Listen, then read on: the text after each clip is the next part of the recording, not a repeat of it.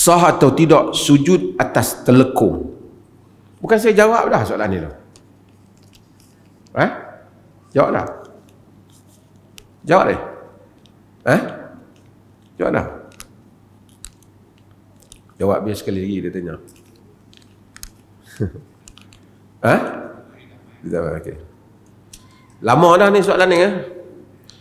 Ada dua mazhab dalam masalah ni satu di dalam dalam mazhab al-Imam Syafi'i rahimahullah dan qaul mu'tamad dalam mazhab Syafi'i sujud di atas kain yang berhubung dengan orang yang salat bersambungan dengan orang salat yang mana kain itu turut bergerak bersama dengan pergerakan dia. Tidak sah. Di mazhab Syafi'i itu. Maksudnya kalau dia sujud atas telekung tu telekung tu masa dia bangkit bergerak bersama dengan dia. Tak sah. Tapi kalau telekung tu panjang dia bergerak macam mana telekung tak bergerak. Terhampar. Ha, tak bergerak bersama dengannya dibolehkan. Ada tafsir dalam mazhab ni boleh saya ada tulis tentang hal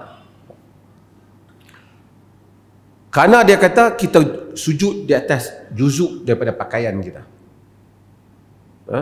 sama macam kita balut dai ni kita sujud. Ha? kopiah ni kita ni kita sujud. Jadi ni bergerak bersama kita. Tak boleh. Inilah qaul mu'tamad di dalam mazhab al-imam syafi'i rahimahullah ta'ala. Di dalam mazhab yang lain di uh, Ibn Qudamah Al-Maqdisi sebut di dalam Al-Mughni. Dia menyatakan bahawasanya dalam qaul Malik dan Abu Hanifah Ata dan uh, Ishaq dan salah satu daripada riwayat daripada Imam Ahmad. Bahawasanya Abu Ya'la menyebut dia nukilkan daripada Abu Ya'la bahawasanya sujud di atas kain yang berhubungan dengan orang yang salat itu sah.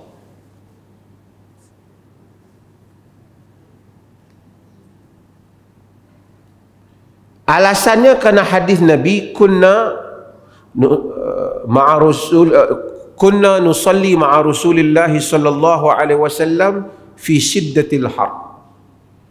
Wa idza la yastati' ahaduna ay yumakkina jabhahu minan minal ardi basata thawbahu fasajada alaihi. Akamakal. Kami semayang bersama dengan Nabi masa panas.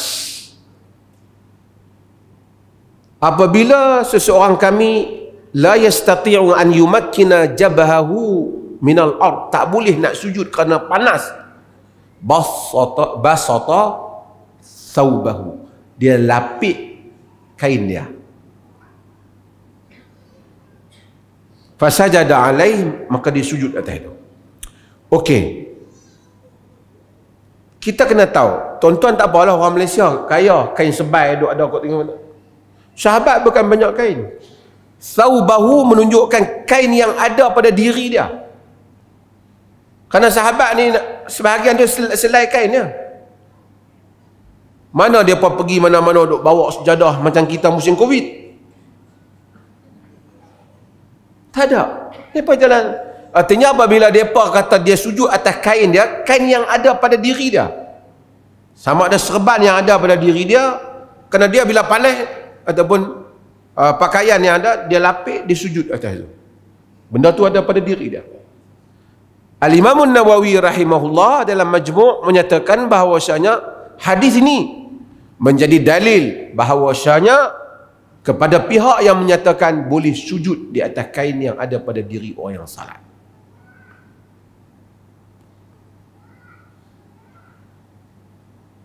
Maka kalau tuan-tuan tanya saya, saya bersama dengan kaul yang kedua ni. Orang perempuan yang sujud di atas jadah dia sah sujud dia. Cumanya, cumanya kalau dia tak ada keperluan nak sujud atas sejadah dia dia tak payah sujud atas sejadah dia sujud terus lah atas. Biasa keluar daripada khilaf. Maksud keluar daripada khilaf ni semua mazhab kata okey. Tapi kalau dia dah